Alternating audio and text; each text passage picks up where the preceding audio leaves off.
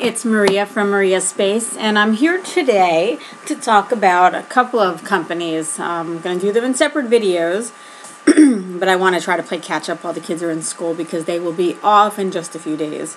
Um, so, Vinyl Disorder is going to be the first one that I discuss, and it's a company that, let me just fold it so that my address isn't showing they do artwork on these little vinyl.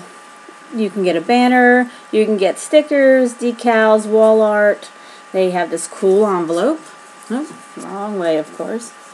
Wrong way. They have this cool envelope over here. It's their, their little their little logo. And they sent me a ton of um, their stickers and decals. So I'm going to show you a few. On my Kindle, I have their vinyl disorder. I also have this one over here. Believe in everything. Question, what was it? Believe in everything, question nothing. Inside my Kindle, I have the childhood cancer gold sticker. They sent a ton of stuff, but what I want to tell you about them is that you can get anything created on these vinyls or these stickers. If you have a company, if you have a logo, if you have a band, if you have a saying, whatever it is, you can you can get it on these logos and they do all kinds of sizes. So here's just some of them. Nice small one. You can see this one is kind of cut out. They have some oval ones. They have these kind right here that you just peel it's just going to be, it's a cutout sticker, so you'll see that it's all cut around this guy. This is the sticker part. I don't want to remove him because my daughter wants this one. Um, really big sticker here. Small stickers. We were going to do some of Goddess's artwork on some of these and make window clings or things like that for her, but um, we didn't have time and before you know it, I was getting these vinyl sticker samples in the mail. So just to show you a few, and oh, I'll take this guy off.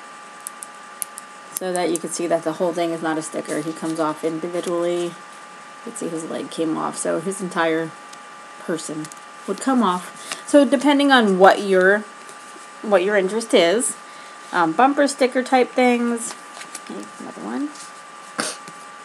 If you have a frat, a college, a school, this is a guy on a motorcycle of some kind. Here's a decal. And in this one, you would, uh, there's a certain way to, to take him off and, you know, there's steps involved and it does come with a sheet to tell you how to do it. You could see, oh, I don't want to do it. I don't want to ruin it because you never know what I'm going to do with that. Here's a nice big one. Like I said, if you have company product, if you want to do bumper stickers, if you want to do decorations for your for your books, for your laptop, for your computer, for whatever. Vinyl Disorder is the company to check out. And um, if I do end up getting Goddess's artwork on a cling or a sticker, I'm going to definitely show you guys because her work is impressive. So have a good day. Check out the rest of the review, and I will talk to you soon. Bye.